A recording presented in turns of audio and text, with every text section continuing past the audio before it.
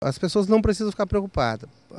Aparentemente, é, parece que eu estou falando aqui algo contra a legislação. A legislação diz que ela determina os produtos liberados, os não autorizados e os proibidos no país.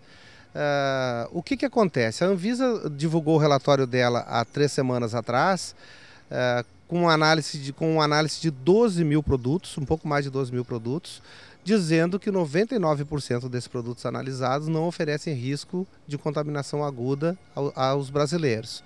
Então, isso não é uma fala do diretor da SEASA, que também é produtor, isso é uma fala, da, é um relatório da Anvisa.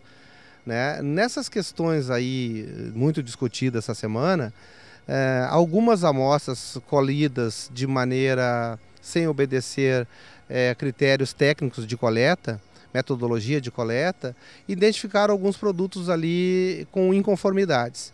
Cinco deles não autorizados para a cultura, mas são produtos autorizados para o uso no Brasil em outras culturas. Né? Essa é uma questão burocrática que a gente está conseguindo vencer agora com a Instrução Normativa 01 de 2014. Nós já temos mais de 900 produtos registrados para as pequenas culturas que não tínhamos até um ano e meio atrás.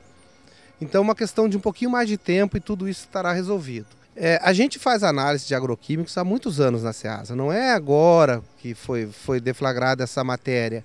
A gente faz isso com a Anvisa antes do TAC. A gente tem um TAC desde 2012, mas a gente já fazia essas análises para o PARA, que é o Programa Nacional.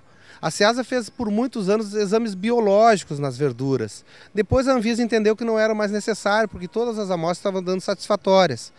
É, em, em, essa é uma preocupação da SEASA de um, de um período muito grande, da, da, da Secretaria da Saúde do Estado e do município, do Laboratório Central e da SEASA, com metodologia científica, com quantidade de amostra de acordo com os métodos uh, uh, orientados pela, pela Agência Nacional.